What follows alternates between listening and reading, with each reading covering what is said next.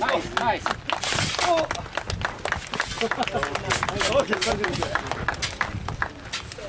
If you put factories there, you will earn much more money than you will earn from Mohogo. And you will create more jobs.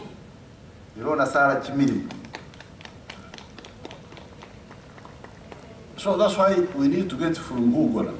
Ugandans need to know you're saving Ugandan civics. You're growing our economy.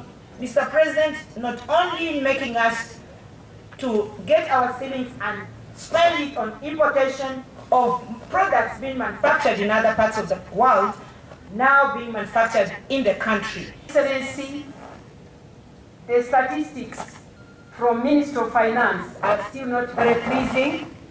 The region in terms of poverty levels, that is the whole of eastern region, we are standing at 64.3. These are people who are still working for Echida Chonka, like you always say. Today, we are have empl- local employees, 800. 800. 100% is yours.